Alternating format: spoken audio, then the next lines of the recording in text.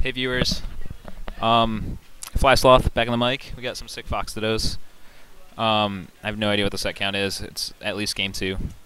Um, first port is Gart. Second port is Seabass. Sorry you guys had to go without commentary for for so long. I was busy um, doing really bad in winners and then beating two people in losers. Sorry I disappointed all my fans. Um,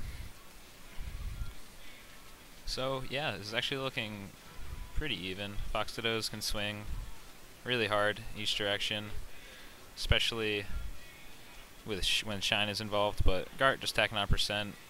Oh, I can't believe he died from that actually. Camera not picking up Gart. It's just AJ. AJ's playing by himself, as he as he always does, because uh, you know, he's an ass.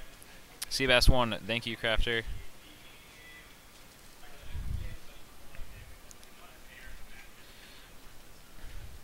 Got my back. My my uh, ring skills aren't quite up to par yet. Ooh, that was oh that was a really nice string of hits by Gart, catching Seabass with that up air. Nerdite up air, pretty sick. Going in the combo video for sure. Oh, a little low. Side B, up smash. Not gonna kill. I, I would say I'm surprised. Actually, you know what? Yeah, I am surprised. Fox kills. This is Pokemon. This is the this is the pride stage as uh I think it was Scar and Toph were talking about it. Maybe it was Mang0 at SSS this week. It's definitely the pride stage for Fox Dittos. It's like, you know what? I know I'm better than you. I'm taking you here. You got equal footing, killing super early. Maybe it's Gart just wanting to cheese out on the platforms, on the uh, transformations.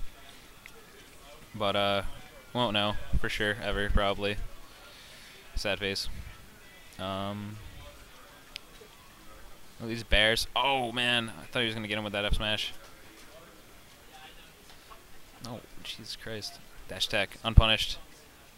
Up smash. Up smash. Up smash.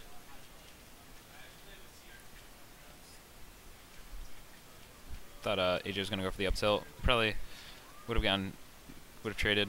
So it's 2-0. It was 2-0. Oh, first game he went Sheik, really.